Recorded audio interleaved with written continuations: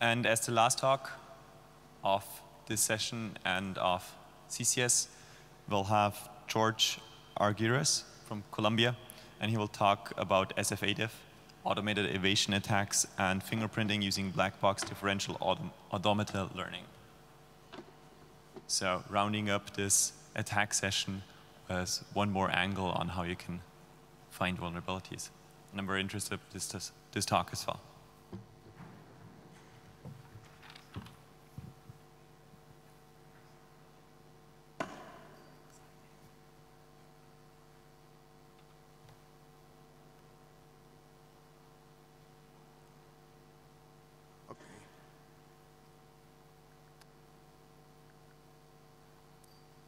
Okay, cool.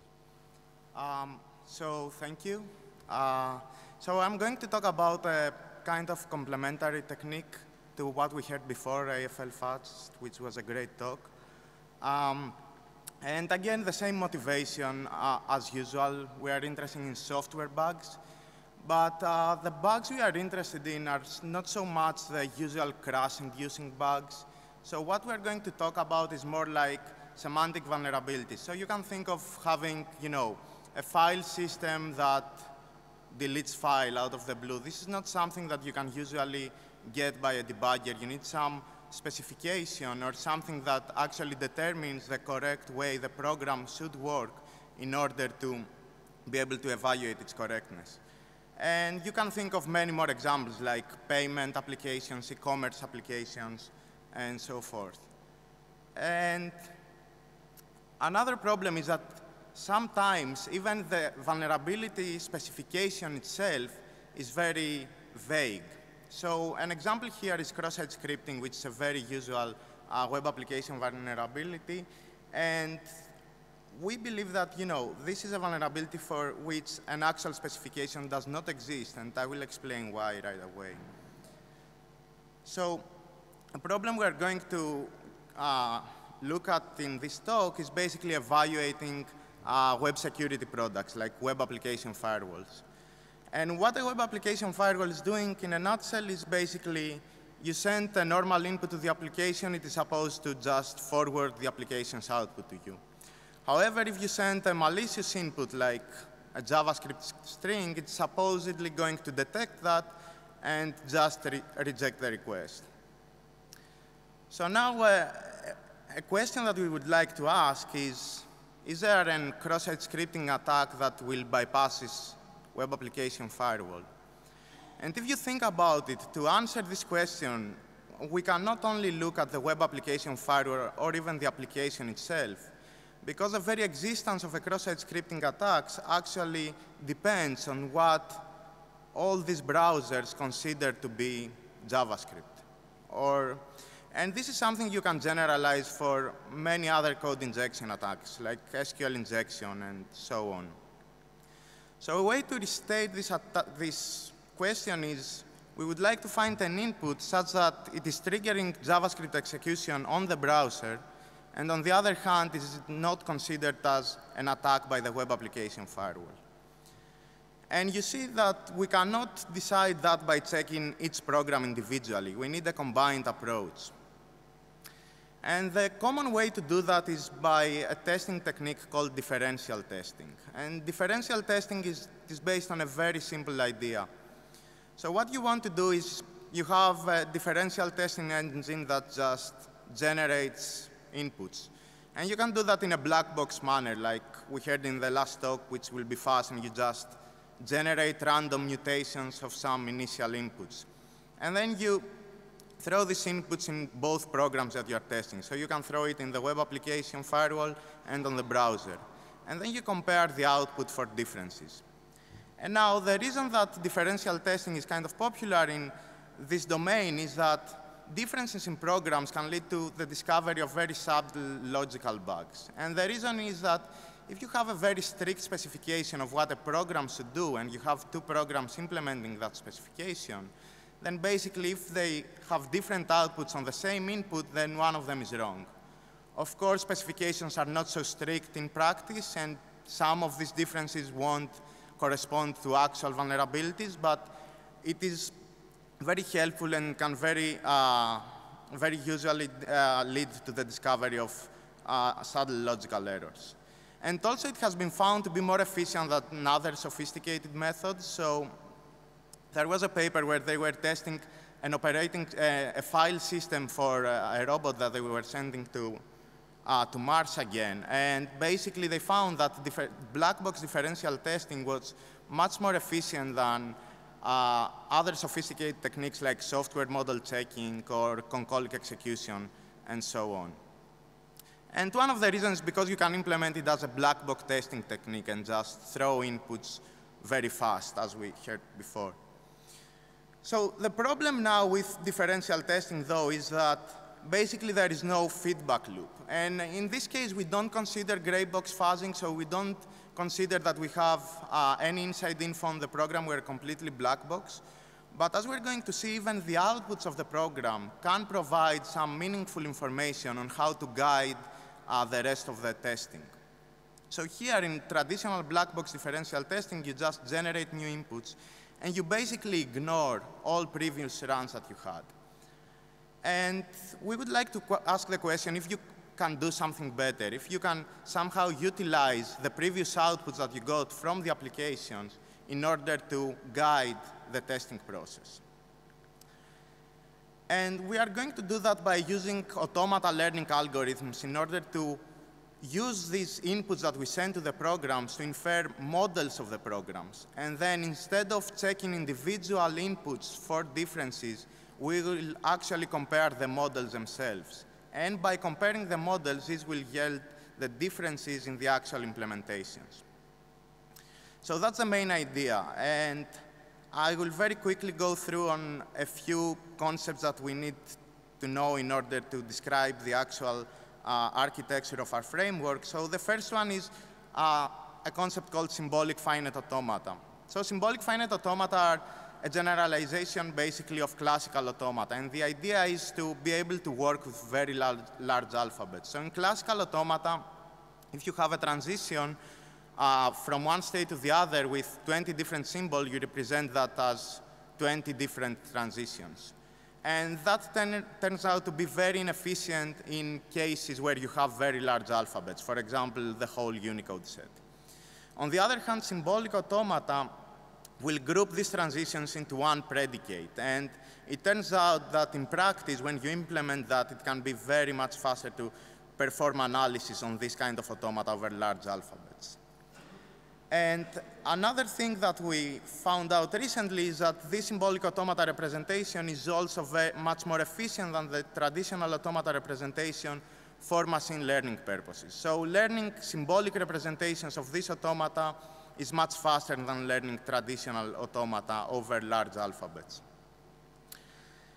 And basically, we came up with this algorithm for learning uh, symbolic automata, which is an active learning algorithm. So the idea with these algorithms is that you don't feed them data. You basically let them and they query the program and they ask the queries that they want. They get answers from the program, and at some point, they will output a model. And that model might be, of course, wrong. So if at some point you find an input in which your model and the actual program behave differently, then the learning algorithm can use that input in order to refine the model and make it better. And here there is a bit of terminology that I will use. So when the learning algorithm queries the target program, we say that it makes a membership query, it just sends an input and it asks, you know, is that input accepted by the program? So you can think in the web application firewall domain or the browser domain, you can ask, is that string malicious or is that string parsed as a JavaScript string? And then you have the equivalence query, and this is the most expensive part of the learning process because in theory it's just a query, but in practice you have to do a whole testing process to see if your model is correct. So in this case, you basically send the model that you have, and you have to somehow check it for correctness. And if you find it to be incorrect, then you get back this counterexample which you use, and you update your model and make it better. So using these learning algorithms, we created what we call differential automata learning. And differential automata learning is differential testing based on automata learning.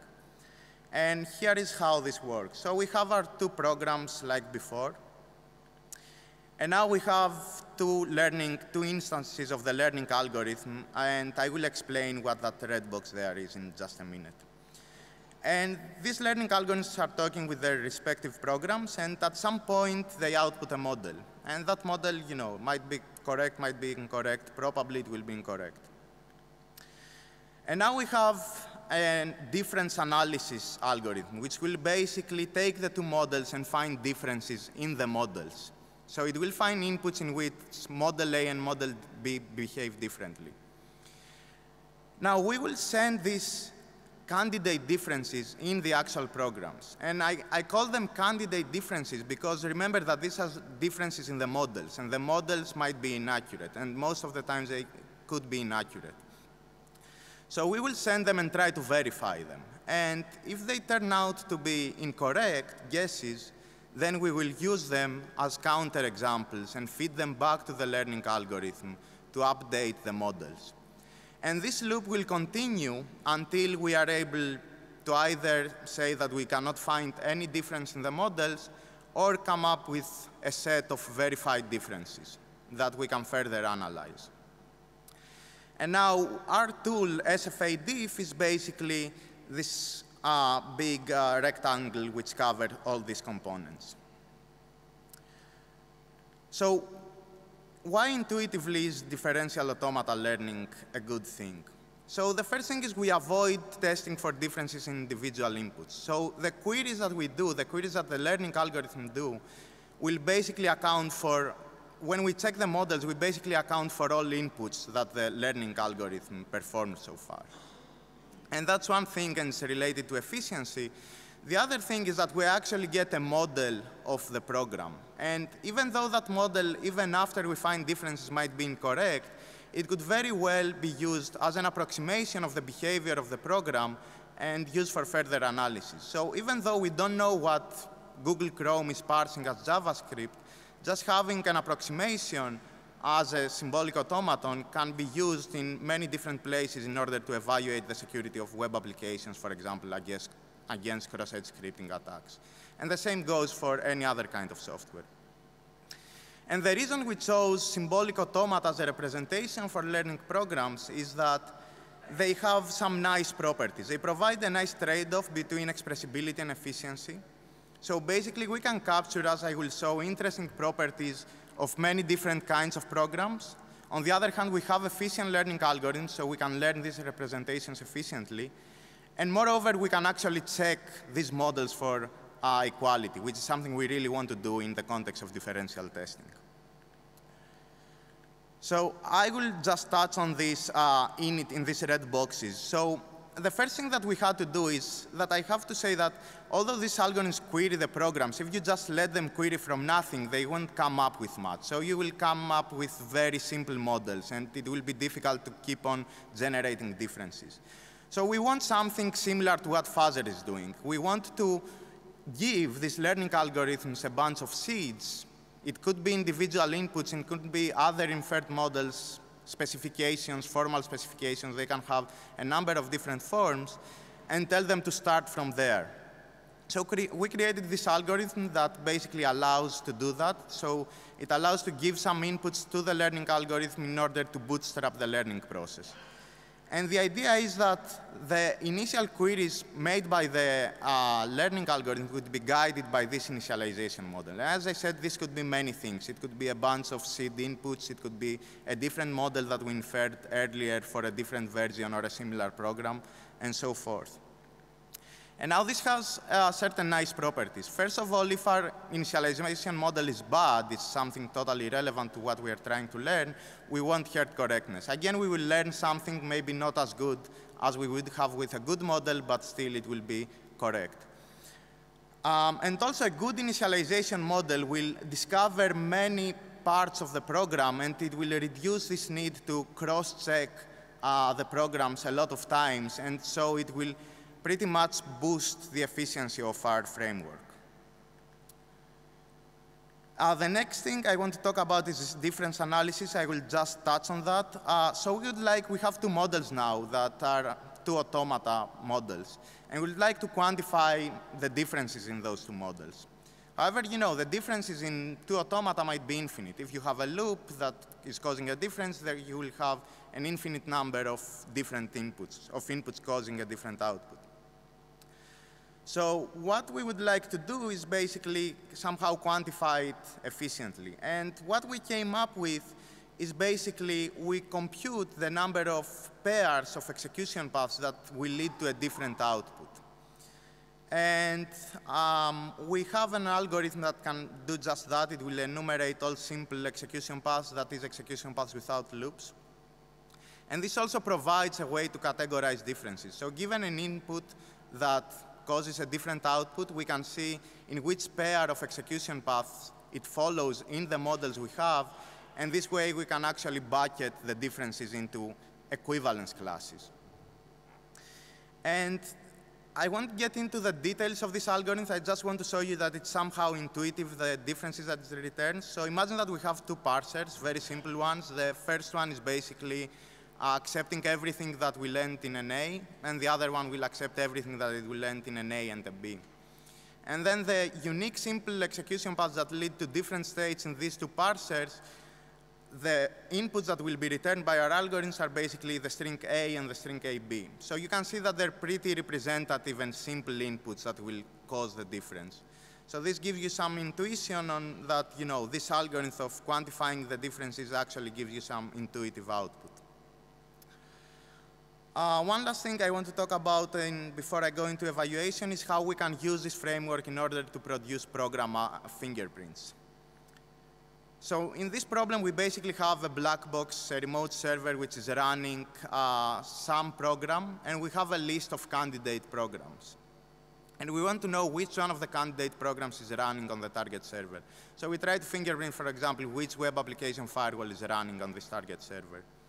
And we're going to do that as follows. We will first, uh, we will first run uh, SFA diff in, with input having the first two programs and say it will generate an input causing a difference in these two programs. And we will send this input to the target server and get back an answer. Now, because this answer is causing a different output to be produced between P1 and P2, we can exclude one of the two from the possible you know, programs running in the server.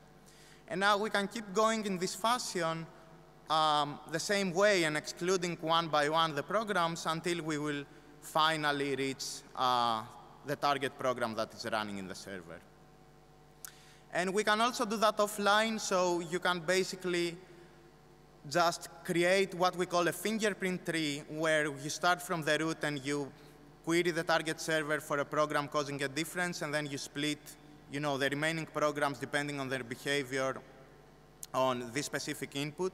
And that way you have a simple way of generating, of making a few queries to the target server and figuring out which program is running.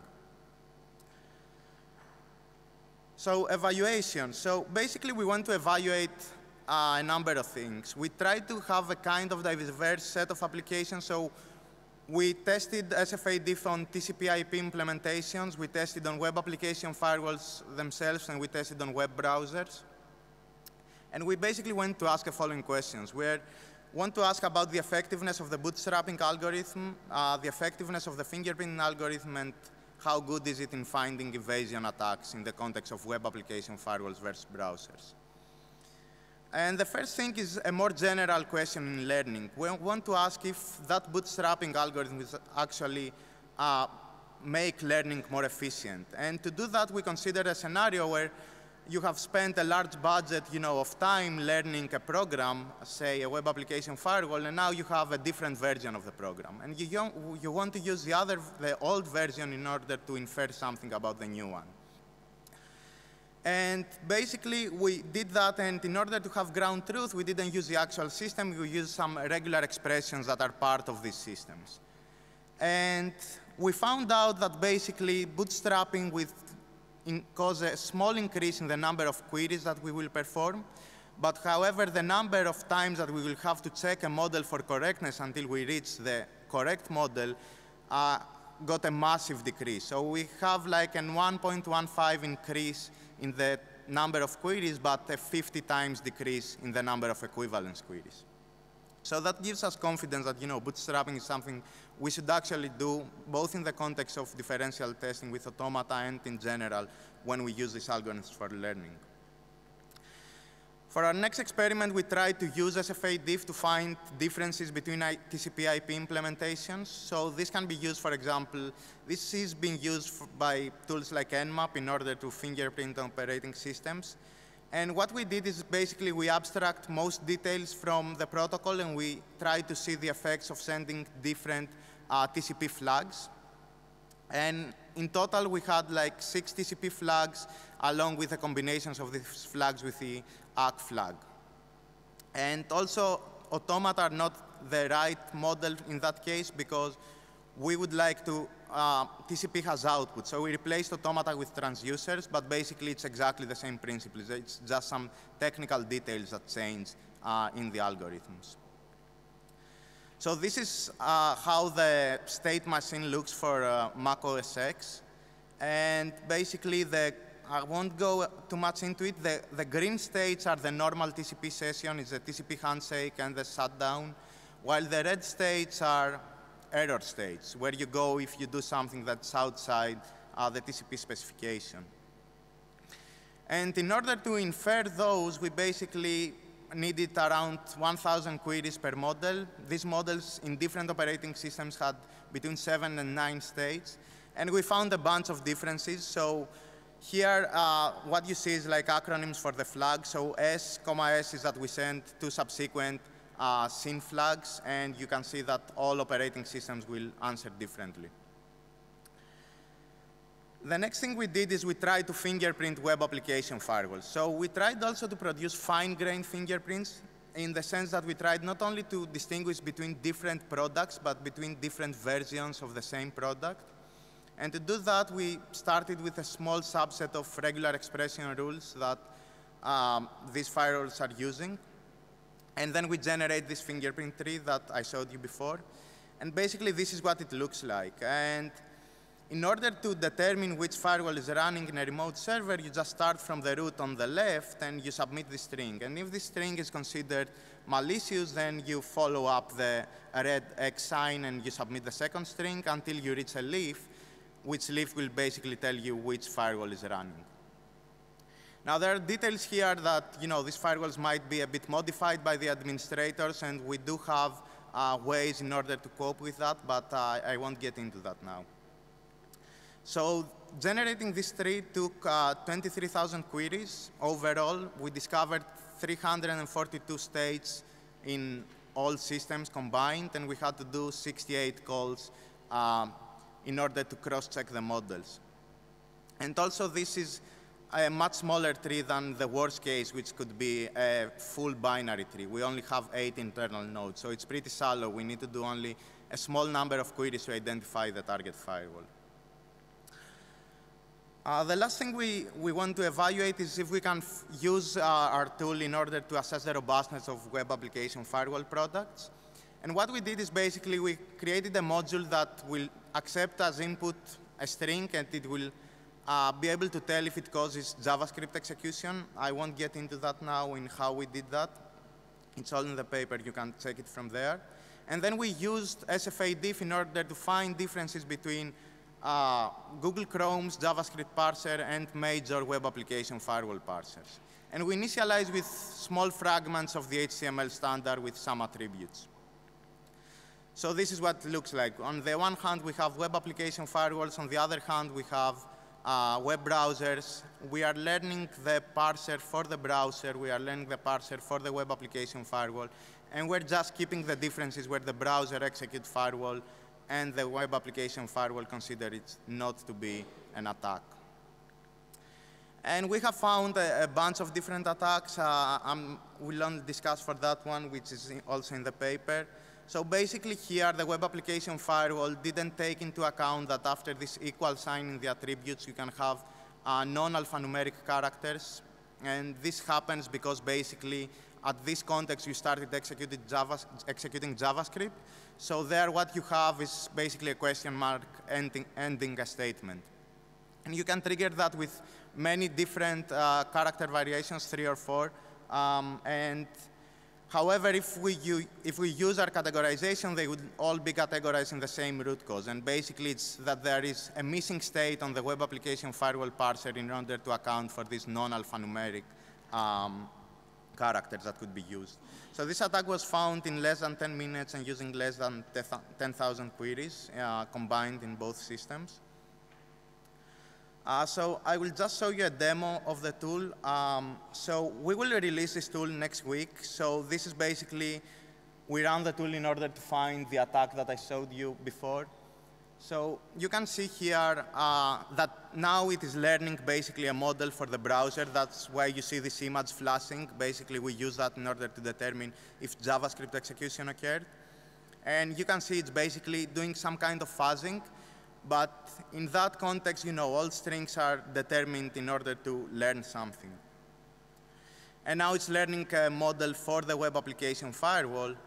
And it will basically start now cross-checking and it finds some invalid attacks and refining the models continuously. And you can see it got up a few states. The models are getting bigger by these refinements. And basically, at some point, it will find the attack. I guess it's now. So yeah, now it found the attack. So yeah, in this specific instance, we had the smaller initialization model, so it didn't do 10,000 queries, it did something like 3,000 combined in both systems.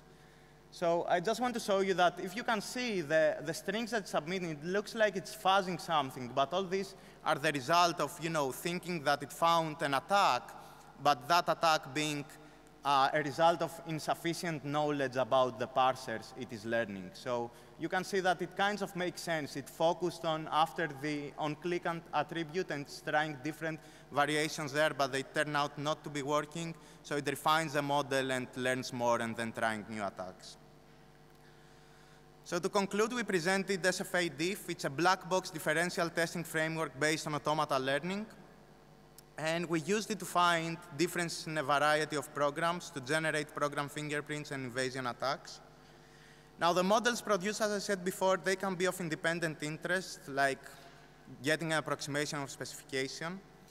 I also would like to stress that this is not uh, something that it's, it's orthogonal to other testing methods.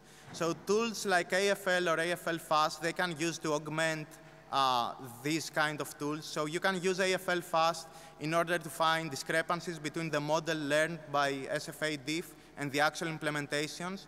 And then these inputs found by the fuzzer could be used to further refine the process. So we really believe that it's a complementary approach, and we, we will try to expand on that in the future. And also this tool that you saw, uh, we, we are going to release it in the next week, probably and it contains all these algorithms and a nice user interface. And that's all. Thank you.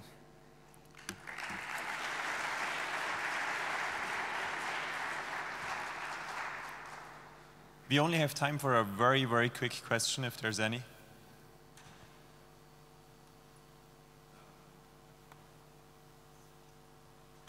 Okay, as an administrative note, there will be the CCS business meeting in here starting in about two minutes. So if you want to stay, feel free and ask questions. Uh, this concludes the last session of CCS. Let's thank all the speakers again. It was a great session.